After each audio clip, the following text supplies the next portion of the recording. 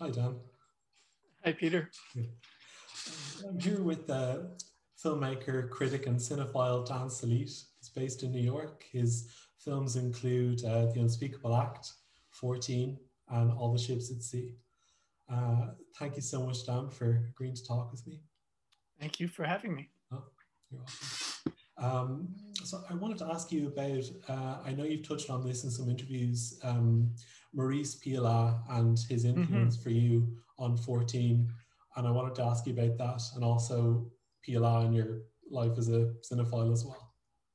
Pialat was somebody it took me a while to come to, actually. I mean, I, I, I it didn't take me a while to like him. Uh, I saw À Nos Amours, I think, first and, and was an instant fan. But it took me a while to understand anything about him. He's so, there's something elusive about him. And I was making a film in 1990, I was shooting a film in 1996 for, called Honeymoon. When I was really thinking about Pialat, I was thinking about like capturing that effect. And I think at that point, I had a kind of a superficial understanding of the guy. I was just thinking of him in terms of these fast time jumps that are very easy to notice, but the meaning of them maybe was not so clear to me or the or the connection to his personality wasn't so clear to me and over the years i somehow i feel as if i came to understand what he was what drove him and what he cared about um, and by the time 14 came around i feel like i'd internalized it and it was not so uh, such a superficial uh, connection for me as it probably was the first time i tried to I tried to do Pialat. But um, I mean, obviously, you know, if, if, you've seen some Pialat films at the time, the way that he cuts through time without much warning, um, without much uh, either foreshadowing or connecting things afterwards is like really conspicuous. And in 14, I decided I wanted to pass through time that way without telling people how much time had passed, letting people figure it out later. But I think that for Pialat, I think for Pialat, almost everything about movies is um, is about him distrusting fiction and distrusting his own ability and everybody else's ability to simulate reality by means of fiction. And he's always trying to get around fiction and sneak something in there that was real at the time and, and that is you know, not is not something that he had to concoct for sentiment or for structure or anything. And gradually I, I came to realize that that as a kind of a general principle that he trusted things more when they were coming from anywhere other than his imagination. He would take something an actor would say when they didn't know the camera was on. He would integrate people's personalities into a role that was not like their personality and he felt that it was more real. And I came to I came to understand what he meant. It's kind of a, in a way, I think it's a vision of human nature, a kind of a not seeing people as unified, not seeing events even or meanings in everything, seeing uh, that uh, that tendency to like put together a piece of this and a piece of that and just shove them together arbitrarily, seeing that as an accurate view of people and of our psychology and of the way a lot of things go. So I came over the years to think of Pialat as kind of the the fictional filmmaker who least trusted fiction and even his own fictionalizing impulse and felt the need always to to trick reality into kind of appearing instead of planning anything or constructing anything around the general idea. I don't know if that's a good answer, but uh, I think that's kind of why Pialat is important to me. And I would think of him every so often, not just when I was doing planning a, a, a time jump. Mm-hmm. And, and, do you have a favorite Pialat film? It's a tough one. À Nos Amours, which is very raggedy in some ways, is so great that it's got to be a candidate. The first one, uh, L'Enfance Nue, Naked Childhood, which was I believe it was called Me when it was released in the United States. Um, that is pretty competitive. Uh, it's really an amazing movie, and uh, I really like uh, almost unbearably uh, sad or forbidding movie called the La Gueule, La Gueule Ouverte, uh, the open mouth, um, the open, yeah, the open mouth, the open snout. Yeah. In French, gueule is kind of slang for your face, you know. Oh right. Yeah, like, like shut your mouth. They would say, you know, ferme, ferme ton gueule, gueule or ta. So it, it, doesn't really mean snout, but I think that's what it literally means. Mm-hmm. I, I, saw um, um, open mouths uh, years ago. I was, struck by the the the husband and obviously the wife. It's like it's dying the that moment when he kind of comes to her at the end. Like it's an incredibly powerful moment. I'm sorry, which, which film is this? The, uh, the the open mouth or the the mouth. Oh yeah, yeah. Yeah, it's incredibly uh, emotional, raw moment. No, there's there's a, you know, Pialat is not gonna make death look nice. Yeah. And I remember in one of his last interviews, he, he was, uh, um, I remember one of the phrases he used was like, you know, death, it's not an improvement. In other words, he doesn't see the direction of our lives as being towards improvement or towards amelioration, towards anything good. He always had his view on that uh, rather grim end point. Uh, and another another French director who I know is a, big influence on you, um, Eric Rohmer. Yeah. And um, uh, I was thinking about how contemplation in his in his films, walking, thinking, how that relates to your your aesthetic. I think that he was the guy for me. I mean, he wasn't necessarily my only favorite filmmaker. I mean, Hawks, Howard Hawks, who I don't ever, I don't try to emulate Hawks because that just feels impossible for me. He was the person that got me into cinema. But Rohmer was the person when I saw his movies when I was what, like 17, 18, I instantly thought that's, I instantly felt like that was the way to do it, that that was how I was going to try to do things. So he's just baseline to me. Like I, I, I don't even think about it when all else is goes out of my mind. I just like do, you know, follow the Rohmer playbook because it just feels like elemental cinema to me. I think that um, apart from the fact that his compositions and his filmmaking is is so direct and simple and apart from the fact that i think his personality resembles mine in certain ways and that i think we both have this kind of like forbidding something forbidding us to take pleasure forbidding us to like cut loose like and, and we make i think that finds its way into his movies and maybe into mine. But also i think his big I think what he really gave the cinema that people could use, people that people could see and could use, is that he was quite determined. Uh, he was quite convinced that people talk a lot more in reality than they do in movies as a general rule, and that a lot of talk in a Rohmer film does not mean a lot to say. It does not mean a philosophical perspective for him, it's a form of realism. For him, it's like dispensing with a kind of a the dramatic shorthand of keeping speeches, you know, pithy and to the point in order to facilitate a drama. He felt like um, by letting people talk and talk and talk, you were getting something that was, um, you know, among other things, completely natural and real. And fam- famously, he said, you know, when he decided to improvise a movie, which turned out to be The Green Ray, his his you know most acclaimed film, really, when he he said, um, you know, I just want to prove that in real life people talk this much. he didn't write the script; he just let them go at it, and it's it's kind of a little bit hard to tell the difference between that film and, and some of the others in, in a way. So I think that was something that appealed to me also this uh, kind of way of of working against a conventional dramatic structure by just introducing this element of reality which happens to be that people you know talk a lot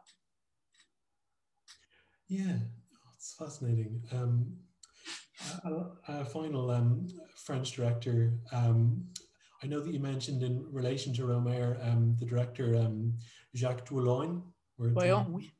And um, how he he's in all of his characters, and Rohmer is a bit more mysterious.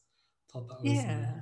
I think Doillon is is a great great director, and he is. I think he is like kind of almost the embodiment of the idea of fantasy in in movies and in fiction.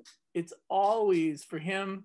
You you feel like almost all his movies imagine with him lying on his bed, daydreaming about something that appeals to him, some woman, some, some one of his children, you know, and then he just you could see in the construction his fantasy turning into the structure, his like kind of uh, an intense wished for kind of situation. And then what makes him great is not that he can fantasize because everybody can fantasize and a lot of fantasies are really um, self-serving and limiting don't really you know don't easily generalize. But he complicates his own fantasies instinctively. So when you're watching a Doillon film you feel a, a central fantasy that runs into all these barriers that he places there, these interesting barriers, and then people get around the barriers in a fan- fantasy-like way, and it, it, and and so on. And every square inch of the movies is filled in with something that he found personally fascinating, and that he, you know, wishes would happen. so um, it's he's kind of like a pole to me of a certain uh, kind of filmmaking, uh, where where uh, something, a desire is at the heart of the fictional impulse. It is for everybody, but he just makes it naked and then he complicates it in such interesting ways. I mean, it's just an extremely intelligent uh, mind behind those movies. I, I really like him a lot. Yeah, I, I, I was I was watching some of the some of the films recently, and the, it struck me the there's a lot of physicality in this film, sort of altercation, and of course, kind of comes to the forefront with uh, love battles. I just thought. That, oh yeah, uh, yeah, that's a film. When you read it on paper, it's like, do I want to see this movie? What is this movie going to be about? but he knows enough to like he he can put just enough self awareness and uh, self conscious behavior in there to justify this fantasy, which is a a, a, strange fantasy on the face of it, you know. Yeah, but uh, uh, for sure. I mean, he's he's not interested in anything except intimacy, um, and intimacy for him, as for a lot of people, it's not so distinctive. Involves physicality, not just you know sex, but physicality in general. Um, it, it, I think that's a consequence of a him totally being about intimacy and b um, exploring every avenue of it. Uh, and that's like the exploring every avenue is kind of a big part of him. It's like when you, the story of his films, the central idea of his films is going to be elaborated infinitely and go into every corner. And if that central idea is an intimate one, as it always is with him, I think, then you're going to see intimacy manifest itself in a number of different ways among a number of different people. I love the way that in a Doillon film, there might be somebody who we never meet who's on the phone and you hear their dialogue, and one they too are participating in this elaborate, intelligent fantasy. Um, he he doesn't leave anybody out. He doesn't exclude anybody from this vast kind of global uh, network of, of, of fantasy associations. Mm-hmm. Um, would I be right in thinking that he's le- somewhat less regarded outside of France than like Rohmer and Pialat? yeah, I, I, think probably that's right, but I don't think it's that. Uh, it's it's not super dramatic, but yeah, uh, Pialat had his day at a certain point more than Doillon did. Doillon was was distributed a lot in the United States in the 70s even um, his films would come here. Uh, you know, La Drôlesse came here, and uh, La Femme qui pleure, the, the crying woman came here, he, he would get distribution and he never stopped getting it completely, even in the dry periods like the 80s. You know, uh, Doillon film would show up, he was on people's radar. There was a, Rohmer was obviously new wave, Cahiers, all the, at the ground floor of the whole movement in France towards uh, small and personal filmmaking. But both Pialat and Doillon and Eustache and several other people are uh, Garrel.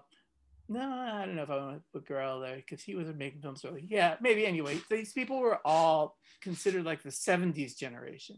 They kind of were considered a generation of filmmakers that followed the new wave that kind of absorbed some of it, but expanded into different areas. A lot of those people tended to deal more with uh, political and social issues too.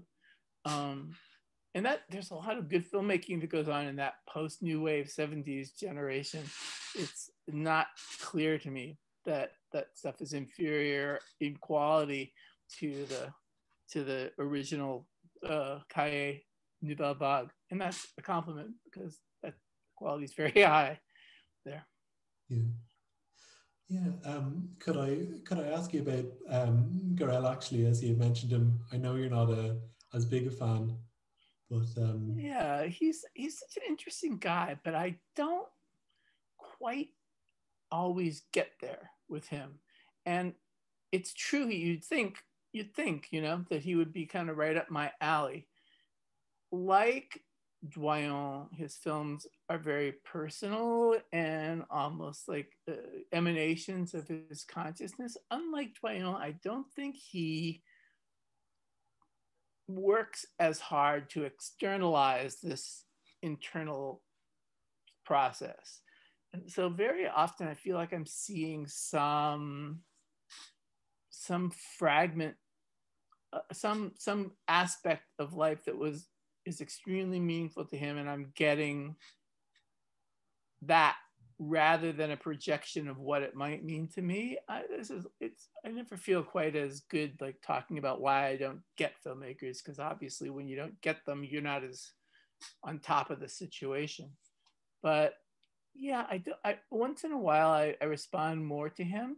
He certainly got a, a personality and, and a gift but he's not he's not someone that strikes to my heart the way that the way that Pialat or Doillon or Eustache does. Um, it, it, it's, uh, some barrier between what's in his mind and what comes across to me. Some some gap is not bridged somehow. And um, I wanted to ask about um, um, Howard Hawks mm-hmm. I've been watching uh, a lot of lately, and I know he's a, favorite of yours. You go back with him a long way, I think, from when yeah. you came to Cinephile. Yeah, but I, I walked into To Have and Have Not uh, in on November 10th, 1972, as a dilettante, and I came out of the theater as a committed film goer. I instantly started seeing hundreds of movies a year, so I can date, you know, the, the, you know my cinephilia and pinpointed to that one experience. Um, and he's always going to be to me the center of cinema and and the, the greatest filmmaker. I don't i mean he worked in a different context than i did than i ever could. And you know my first movie which is very you know, crude video. I don't know if you've ever heard Polly Perverse Strikes Again. Oh, I've seen it, yeah.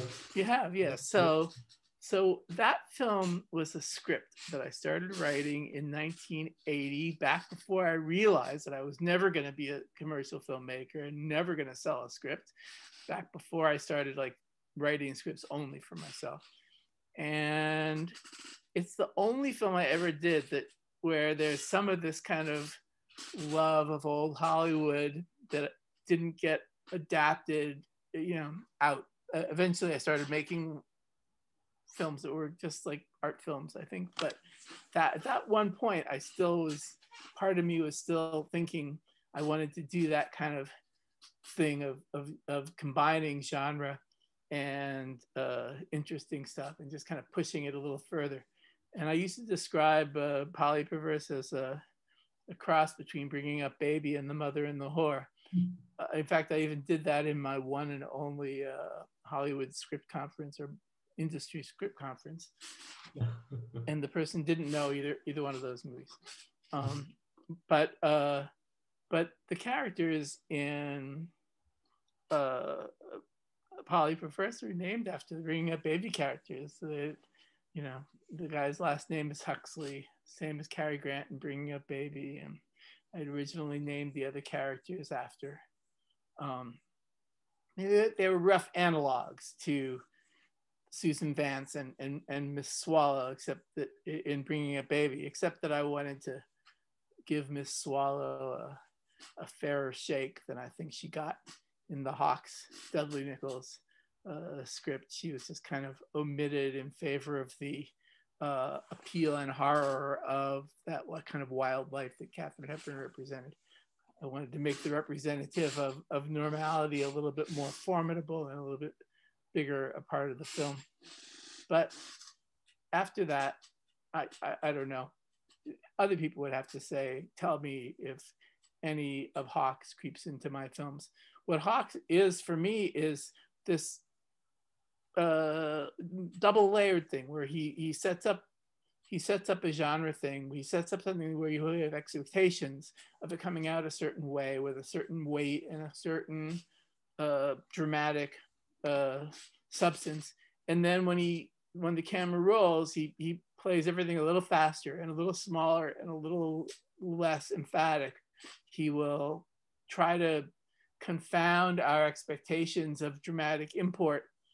And he made, for him, that's a kind of form of realism when you expect somebody to say something heavy and they say it light or they say it fast. He, for him, that feels realistic, but it's also playing against a context that he himself set up.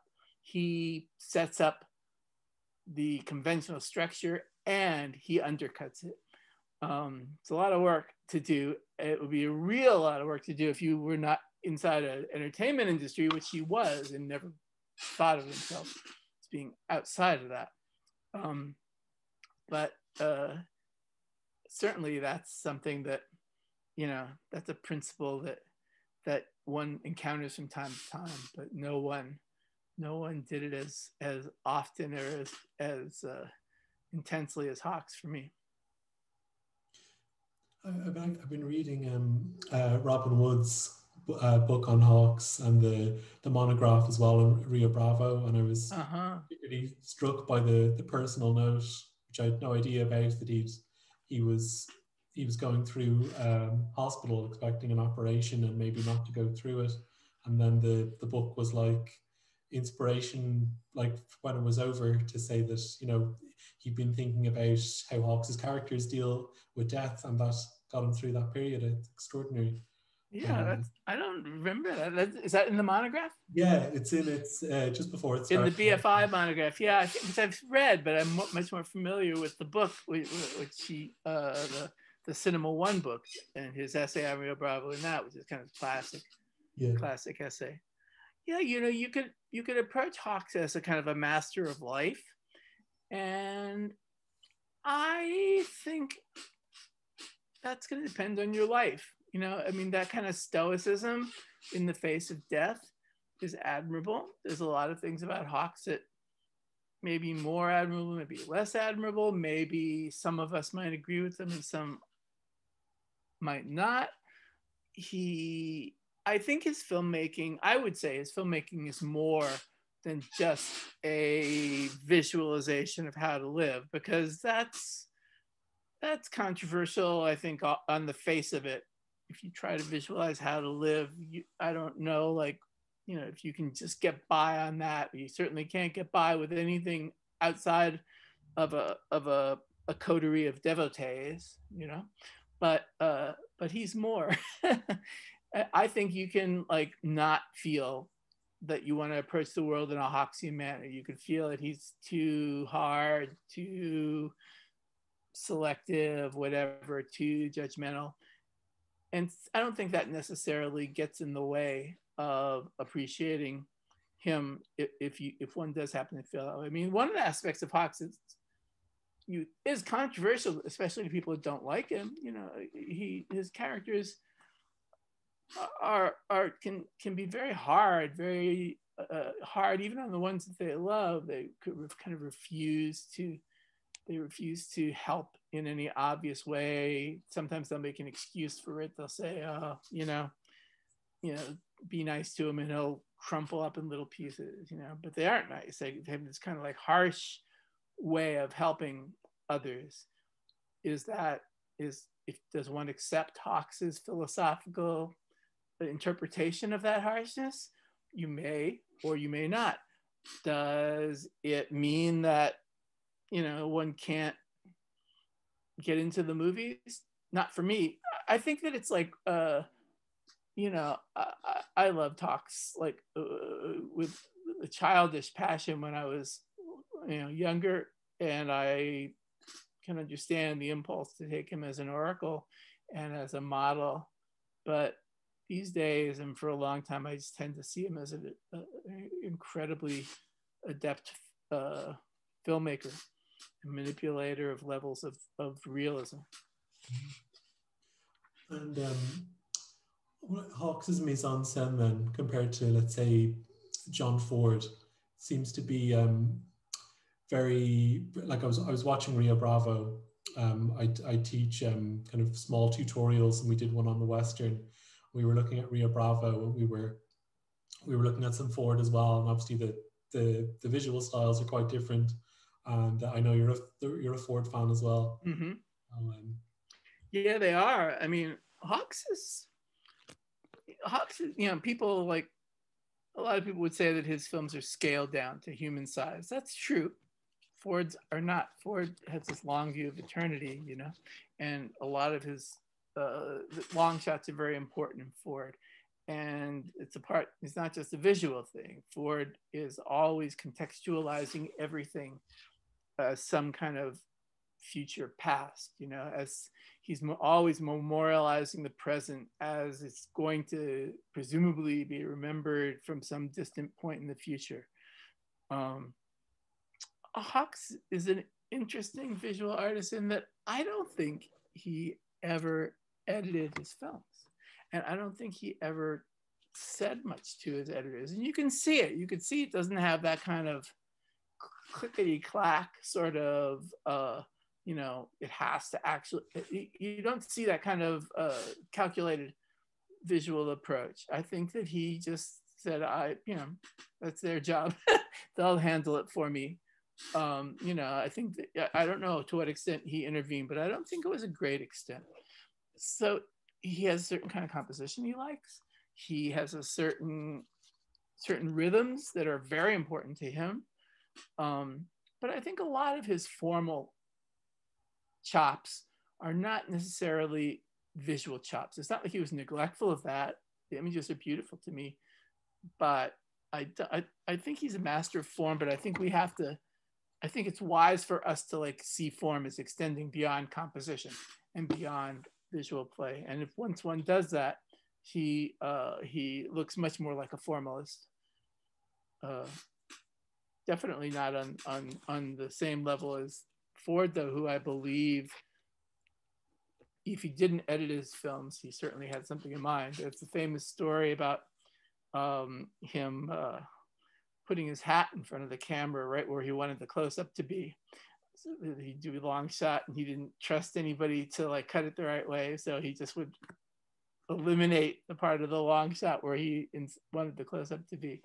So there we perceive first of all a contentious personality b uh, uh, somebody who uh, didn't completely feel like they were part of an entertainment industry or felt like they had to like give the entertainment industry a helping hand in interpreting their stuff. Hawks maybe saw himself a little bit more as one with the entertainment industry. I don't think he ever thought he was going to make an art film. I don't think he ever thought he was working in any way that his bosses didn't want him to work. I think he felt like everybody was basically trying to do the same thing. Ford a little bit more of a closet artist. Uh, and um, I've been reading a lot of Robin Wood as well, and um, his later works on um, Tsai Ming-liang in, in CineAction, which are quite beautiful. Mm. Uh, I'm just kind of struck by Wood kind of revisiting opinions years later. I just think that's really interesting after 20, 30 years. And obviously, he went in different directions. He obviously became quite political.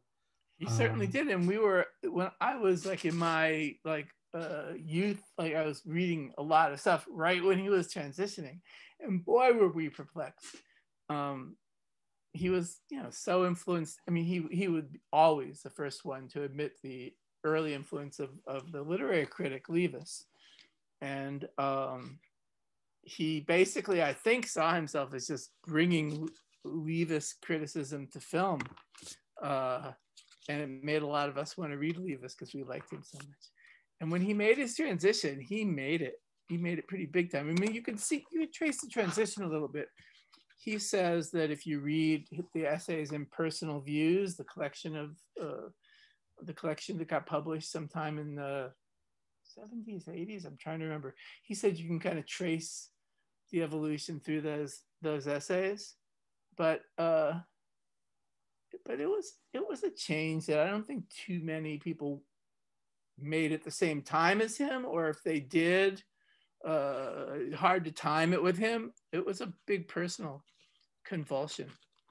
Uh, I have to admit that I am more devoted to the early funny ones, you know, uh, as Woody Allen said, to the uh, to the uh, Leavis period, yeah. which there's a lot. There's a lot of stuff that he did that is not even not as well known as the Hawks and Hitchcock books. Yeah, yeah. Um,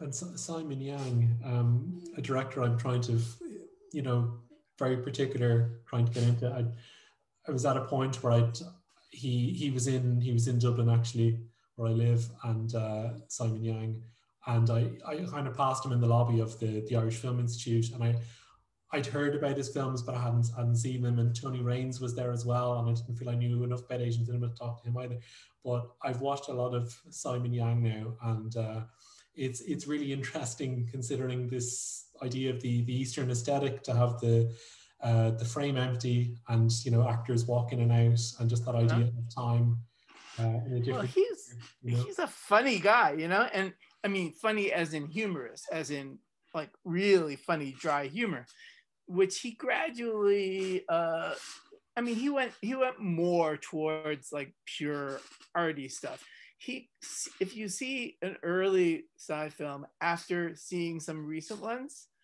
it's a little bit of a shock because you can't believe he was that entertaining or willing to be that entertaining. And by early, I don't mean like pre, I mean even like main period. Tsai feels ridiculously entertaining and uh, audience oriented compared with where he wound up. I mean, you get the feeling now that you know cinema for him is something very different than it was originally, and that he's kind of moved himself almost towards a certain, uh, you know, I, I don't want to say uh, like a, a, museum kind of art, but he definitely is like not interested anymore in doing the same thing he was. But he's a he's a funny funny guy, and his still frames, his long shots, and his immovable things are among other things very deadpan, hum- funny humor, you know, and he he works it hard and his sense of humor is far ranging and is not restricted to things that we might think were funny on the face of it. Um, I personally kind of, I mean, I, I he can do whatever he wants to. He's a great director, but I kind of sort of wish he would uh, work a little bit more uh, towards the audience than he does these days. Whatever, it's fine. He's yeah. he's, he's I'm not going to give him advice. He's better than I am. Um, I wanted to ask you about um, um, I suppose pre pre COVID uh, sort of I guess the New York film scene and uh, and how you found making films over the years? It changed a lot. First, there was nothing. First, there was nothing at all. No scene, no anything. And uh, I made a couple of movies in that vacuum. And I think the first glimmer of camaraderie of groupness came with kind of mumblecore with the whole uh, first video had to come along and be good enough that you could make a movie that was presentable with with very little technical chops you know? Video had to be good enough where you just turn the camera on and you get a decent image. And that happened sometime around the mid 2000s um, and then i think there were a couple personalities swanberg especially who really kind of promoted that sort of group feeling. And it was international it was not international but it was intercontinental. It was all over the country. You know, the mumblecore people were in different places. Bujalski was in, you know, Boston. Swanberg was in Chicago. Uh, there was no unity of, of place. They all had their film show at South by Southwest. They all knew each other from the festival circuit. They made friends. A couple, you know, a couple personalities like Swanberg probably had a lot to do with that being a, a group, like being a people seeing each other not as rivals, which I felt when I was when I was a kid. I felt that somehow from a lot of filmmakers. Um, but but that in that at that time the stakes were so low, the costs were so low. I don't know. Everyone started hanging out together and knowing each other, and I was kind of you know, not really making films like that exactly, but I liked some of those filmmakers a lot and uh, got to know some of them.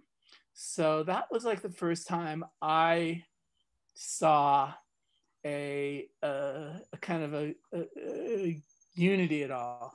And there was some of it was in New York too. I mean, those guys would come to New York, but then also some of the people associated with that kind of moment, people like Nathan Silver and Dustin Guy Defa were in New York. And so there was like a, there was a, a little bit of a community, even, even locally.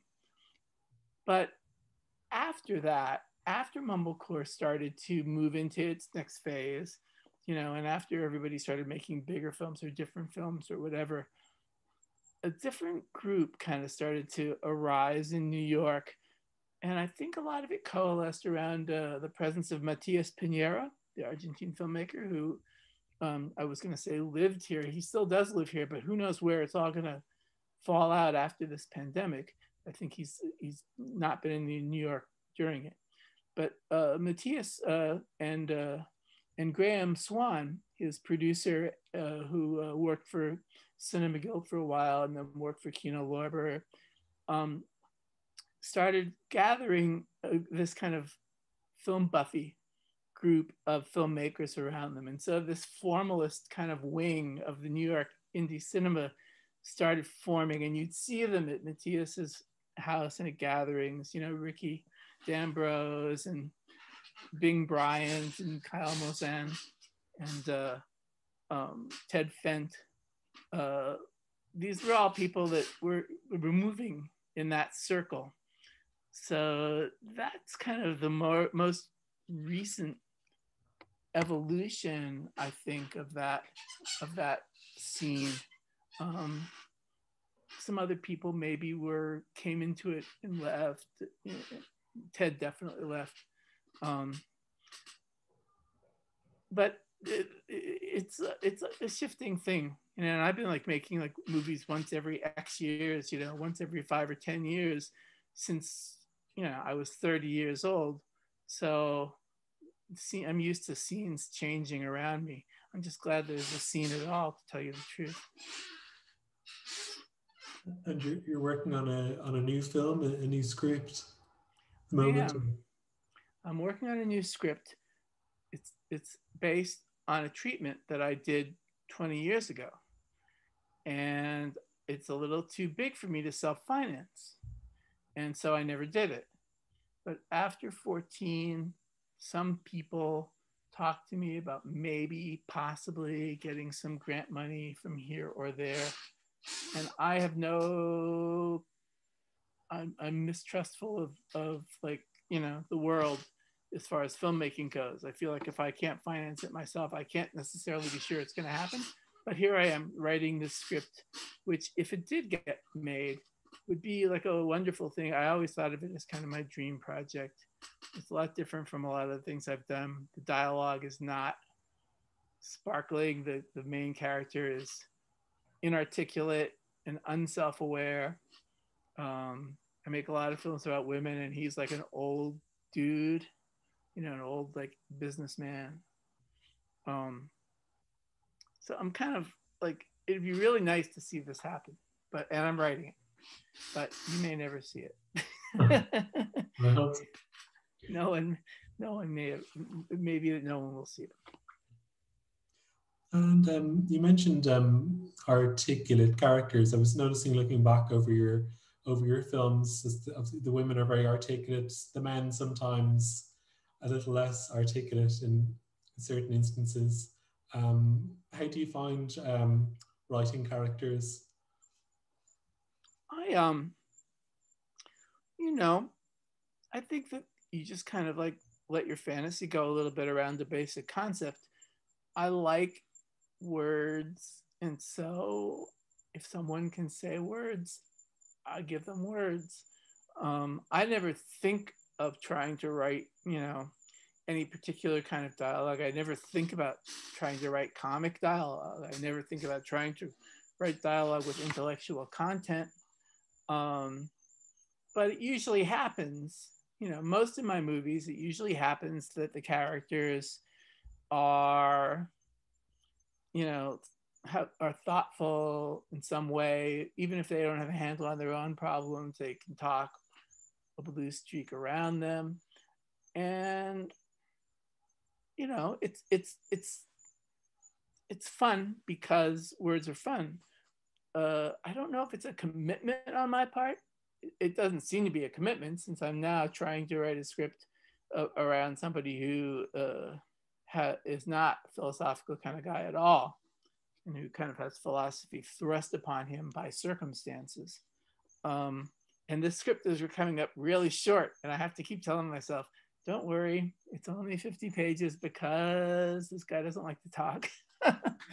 um, we'll see what happens when it's all done. But I, uh, it, it's I think it's it's not a it, it's a form of characterization it's not a it's not as if I feel as if there is literary content to the words in my movies. I, I actually really don't usually go that way at all. I don't have any kind of abstraction where I want there to be literary content in them.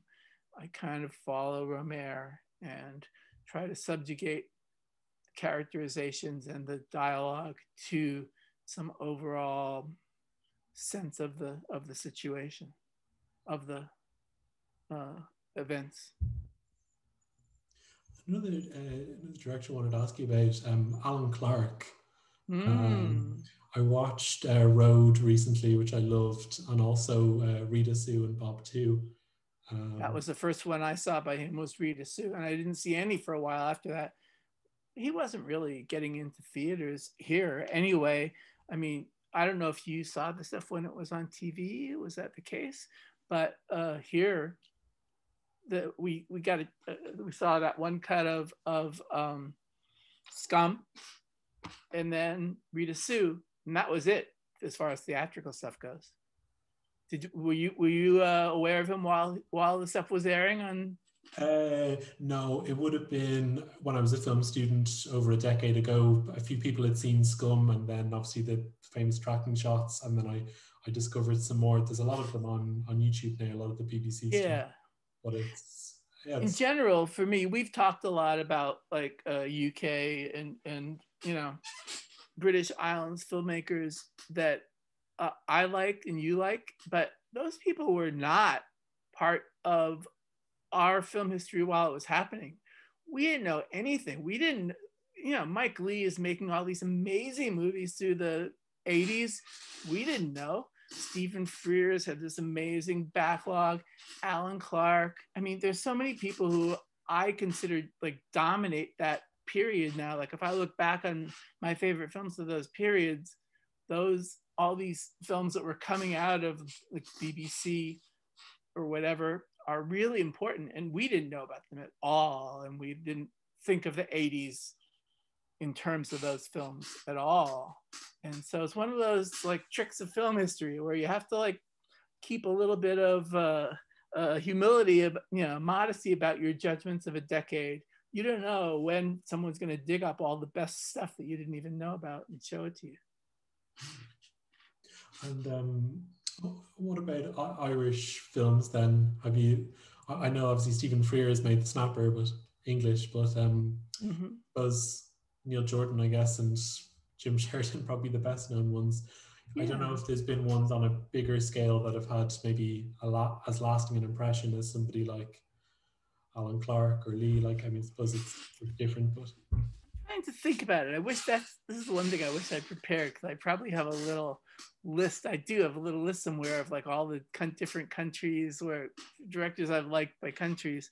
Um, I never, I'm not a huge Neil Jordan guy. I mean, I was kind of interested in him and have come close, but he didn't really stick with me. And I can't say I've really uh, enjoyed uh, Sheridan's films that I've seen all that much.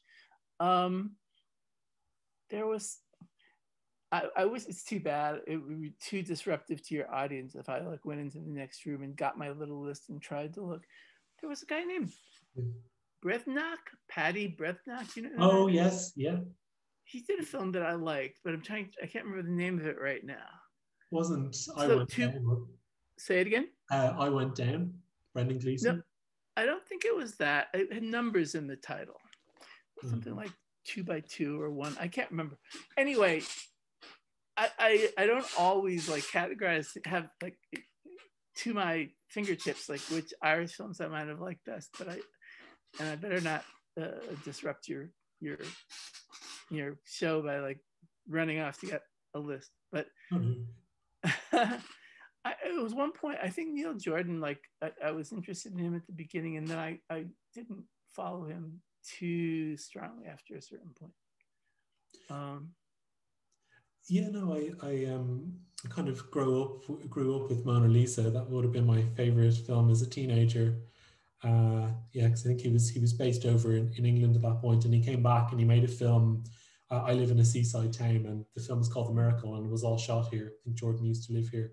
Uh, Ardmore Studios. I don't know if you you know it's it's a big studio here. It's they made um, um, made a, a lot of films here that what John Boorman pretty much makes all of his films at Ardmore. So that's like a kind of a, a big studio about 10 minutes from me. So um, I know so it's called The Miracle that you're talking about? The, the, Miracle, yeah. I've never seen it now. It's only been available on video or something, and I haven't been able to find it. But uh, just sort of been nice to see what uh, what Bray was like in the, in the early 90s. Yeah, I wish I could. I wish I could come up with uh, with more names. I probably will think of them after I after I get off. And, you, and have you have you been to uh, visit Ireland or? No, I never did. I think it almost happened once and didn't for some reason. I, I've barely been to the British Isles at all. I think I spent like I was once, I was once in London and Brighton in the UK, and that's about it. Um, Brighton is nice. Yeah, it would Brighton for me is that Robert Hamer movie. Um, what's the name of that first Pink String and Sealing Wax? Yeah, yeah, that that's Brighton for me. When you um you you mentioned that, and I I'd, I hadn't seen it, and I, absolutely loved it. Thought it was great. Uh, the end, Hamer is kind of amazing, actually. Yeah. yeah. yeah. He's he's uh I mean he might not have held up completely through the whole course of his career, and you know whatever you hear stories about him having a hard life personally but boy he was knocking it out of the park on a regular basis for a while. Yeah, yeah um, uh, the spider and the fly? Oh i haven't seen that one. Oh yeah. do so do so. Yeah. Oh, okay. yeah i have um i have a book on british cinema um critic who we talked about a little bit before, uh, Raymond Durgnat, uh, yeah. for England, uh, quite a an interesting critic. I know, obviously, he's for some reason very uh, anti-Hawks. I, he's very anti-Hawks. Yeah. he made a he made a crusade of it, and that did not endear him to me at the time. Um, and I never have I've read a bunch of his stuff, but I haven't completely gone back to reevaluate with a cooler adult head. Um, I met him once. I think I mentioned to you. He was. Oh, really? He was, oh, he was no. te- it was not a. It was not a significant meeting. He was when I was at UCLA. He, he was teaching there for a semester, and I. uh I kind of popped my head in his office once and said something to him about having read something of his, and he was not in a socializing mood. I, I, had the feeling maybe he wasn't a socializing kind of fellow in general, but I, I don't know that. Yeah, no, I've, I've heard that. Um, I think uh, Adrian Martin sent him a letter and he wrote back and said, don't contact me again or something. um, you know, film buffs, I, this is my, these are my people and this is my country. And we're mostly a little mentally ill, you know? We all spend a lot of time in dark rooms through the years when other people are learning how to live and have romantic relationships and stuff.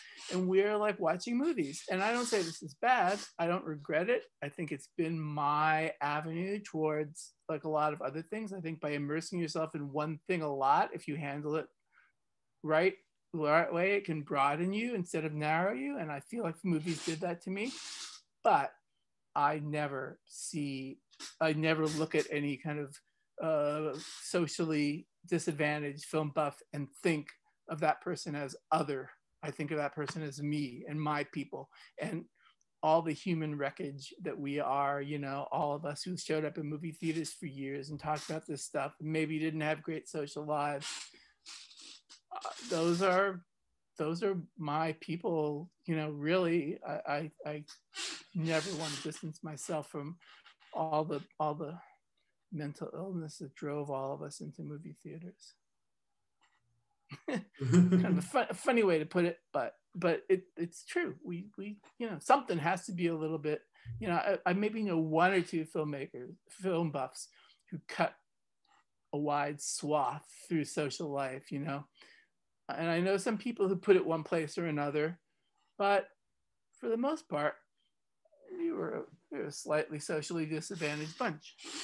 And whatever, you know, that's our that's our that's our identity. Uh, and um, you're you're what you're so you're working during the week and you're you're getting time to watch watch some a lot of movies at home. I'm watching. I have a I have a ritual nighttime screening every night, which I rarely miss, and which is very different from the theatrical, you know, movie life that I was living before this pandemic. But I not knocking it exactly. I, I kind of like it, and I really um, put a lot of weight on this evening screening and.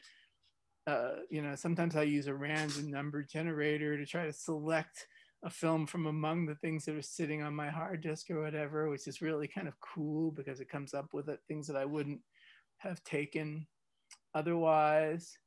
Um, last night I watched uh, a film by uh, the Japanese director Kawashima uh, uh, called Women Are Born Twice, which I'd seen once and really liked. And it's, an amazing movie and we were talking about Hawks and Hawks' use of like playing things down. And I was thinking of Hawks when I was watching Kawashima. He would do these little bits of naturalism. He would deploy bits of naturalism the way the Hawks would in a way to try to uh, take a take a convention and turn it into something odd or distinctive. And he'd take his use his familiarity with environments and with rituals, the way people would behave, and he would put things in that you wouldn't normally put in. And he would do that to defamiliarize something that was like already an existing expectation that the audience had. So it was like kind of fun uh, things like that where you like make a connection between you know this uh, mm, uh very two very un, un, dissimilar filmmakers that's like the joy of like being able to select your own screenings at home i I saw a lot of films by uh, in the summer by Saless, the uh, Iranian filmmaker who emigrated to Germany, um, and who I think is a great filmmaker. And uh, this, I was completely convinced the more of his films I saw, and I think I saw almost all of them. Uh, the, the more I became convinced he's like a major figure that really needs to have his status elevated, significantly elevated. And I don't know if I'm going to be uh, around to see that, but I, I, think it will eventually happen. So that was like a fun summer. I was like going through all these like grainy TV recordings of films by Sohrab Shahid Saless. Uh, very much worth your while if you feel like doing a little exploring. Oh, absolutely. Sounds great. Um, I want to ask you as well about um, uh, Bazin. I know you have a long mm-hmm. relationship with him as well. And was it the 70s that you started reading him? Yeah, I think that's accurate. I don't, I started reading uh, all film stuff in the 70s. I think I became a film buff in 72. I discovered Sarris's The American Cinema in 73. And I started, I know that I, you know, I remember doing a very elaborate presentation on Bazin in film school, maybe in 76 or 77. So yeah, definitely 70s. Um, he's the guy, you know? I mean, I don't know. He was very unpopular when I discovered him because I, I was when I he you know I went to graduate school and theory was like ascendant and triumphant, and he was just like one more impressionistic kind of dude that was was rejected by by the by the critical theory crowd. But um, but I really do think he's like the the best mind to apply itself to the cinema and what he did in a few years what he came up with i mean to me that stuff is like you know it's worthy of like all this you could just like sit and like take it apart word by word over the years do these like talmudic study groups on it and still and continue to get interesting stuff out. Because he was a journalist you know he was not writing polished things always. Um, sometimes the ideas have to be coaxed out of it. Sometimes he doesn't you know does, he buries the lead or doesn't quite get to the thing that you might want to emphasize. But it's it's there's a lot there and uh and you know in, on first acquaintance he uh you know he's thought of as like uh, the exponent of realism in cinema. He's he's like definitely serves that function in critical history as the person that stands athwart uh you know the the the whole uh, you know 30s 40s idea that cinema had to distinguish itself from theater and had to be different and the importance of editing and the importance of you know all the things that other art forms couldn't do. And he's the one who basically uh, made it possible for people to think that just turning on a camera and recording something was a uh, an essential act. So i think he serves that kind of function for, for people uh, uh, but he's also like he's also like there's almost something mystical about him and it's not like he's a mystic. It's like there was the mysticism standing between him and the screen and he just had to identify it you know and he and he didn't try to shove it in your face but he would say you know the, the image you know is is the reality. It's not a depiction of it's not indexical it's not a it is it exists. And you know you try to get your mind around this and you feel almost like you're trying to interpret some kind of mystical uh, oracle instead of like reading a, a you know a carefully reasoned uh, piece which which his pieces are. He's, he's a very reasonable guy. But i love that he was standing in front of this mystery this mystery of the photograph this kind of uncanniness of the photograph and he did not shirk uh, he did not dodge the uncanny thing that was that was right in his face and couldn't be couldn't be avoided if he wanted to talk about cinema. Oh, that's lovely.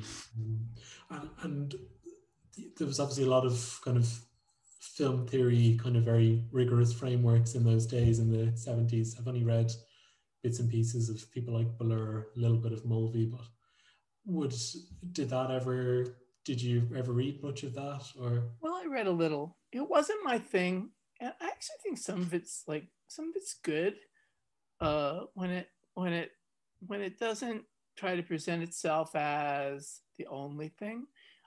I think that that, that i was always into aesthetics and a certain extreme form of theorist doesn't even seem to believe in aesthetics doesn't concern itself whatsoever with the idea of a good work of art or a bad work of art, um, is not interested, you know, treats it like a art, cultural artifact, like a lot of other things. But I don't know. Some of that stuff was some of that stuff is, is useful. I think. I, I, I personally really am happy that I read uh, Roland Barthes. Um, I think he's. I think he was important to me. Um, I can't say I ever got too deep into the the semiotic thing. You know, at that time, Christian Metz was all the rage, and I can't say I really, you know, responded, got anything huge out of that. And the structuralist thing is like, on the one hand, it connects so easily to certain, you know, something that you see in all movies, and definitely a book that was important to me, which is uh, Jim Kitses' uh, Horizons West about Anthony Mann, Bud Boetticher, and Sam Peckinpah uh, in that Cinema One series, you could see that he had drawn on structuralist stuff. But on the other hand, it, on the other hand, it, it never cut too deep for me. Um, and I'm very much in in real life, you know, outside of my cinema life, I, I, I consider myself a Freudian. I consider myself, uh, I consider Freud like a really, really important thinker and one of the people that organized my thoughts about human beings and still to this day is true. And yet, Freud, in theory, in film theory, as transmitted by Lacan, I never was really sure that that was speaking to the issue. And people used to, I mean, I, people used to like try to, you know, take interpretation of dreams and, and, and apply it to, to cinema. I felt like there were some missing steps there. Uh, so I wouldn't say I'm opposed, um, but it never was my. I, when I started feeling like I wanted to, you know, go deeper into cinema, I didn't go in that direction. Yeah, I, I, was um, I was reading a piece by Robin Wood on Leo McCarey from his film comment in the seventies. It's quite a good piece, but there's a section of it where it kind of like you know I, I don't mind Freudian references in film theory, but when it becomes the whole framework of seeing the whole film, you know I don't mind aspects here and there, but it just becomes very reductive and simplistic to me after you know after. Yeah. I mean, Freud has a lot to say about people. Freud probably has more to say about people than anybody has to say about people. And I never want to reject that. And, you know, filmmakers are people and the person behind a film is important. But on the other hand, uh, the mediation between the the the the dream, the conscious mind, and the dream material is not exactly the same way that a filmmaker or an artist mediates the connection between their fantasies their desires and the work of art. Different mechanisms, different parts of the mind seem involved. Anyway, you know, I'm, I'm in danger of saying something dumb because I, I don't know the, the, the I don't want to criticize, you know, straw people. I don't want to criticize people who don't really exist because I'm imagining, you know, what, what they're, what they're doing. But I think one has to take into account the aesthetic aims of film. I mean, I'm in it because because of art, and I want it to be good art, and I want that art to do something particular for me that other things don't do for me. And if you have a kind of criticism that is not interested in that, is not interested in the whole idea of art and what art might do for you that other things don't don't do, and what things what the com- complex of things that are about art that makes it worthwhile or not worthwhile, makes it a good experience or not. If you're not interested in that, I it's simply going to be anecdotal for me, and I might be able to use something that someone says. I might be able to bring some idea back, but it's not going to be right to the point of it if it doesn't grapple with the value of art and the idea of like an aesthetic response.